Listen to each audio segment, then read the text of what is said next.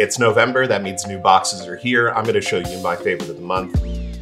I'm Jonathan Evans. I'm the style director of Esquire magazine. So obviously my favorite box from this month is gonna be the collaborative Esquire Bespoke Post Box issue eight.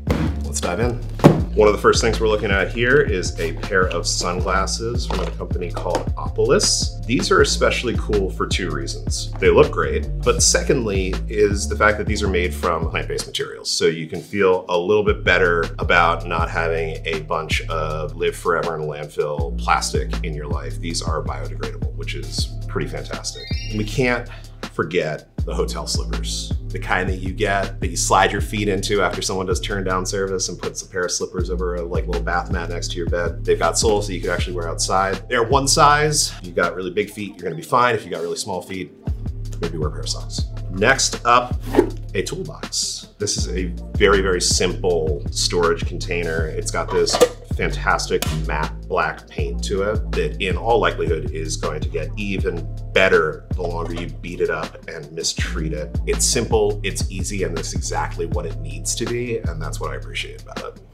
Next up, we have this wallet from Andar. It is this super slim, super well-designed wallet. It's all about functionality and minimalism here. It's got exactly what you need. This little pull tab here will make it a million times easier to get a card out of this little slip pocket here. One especially nice thing about this wallet, it's got RFID protection. So if some nefarious character comes up behind you and tries to steal your information, they are not going to get away with it. So next up, we have this very cool lighter from Dissim.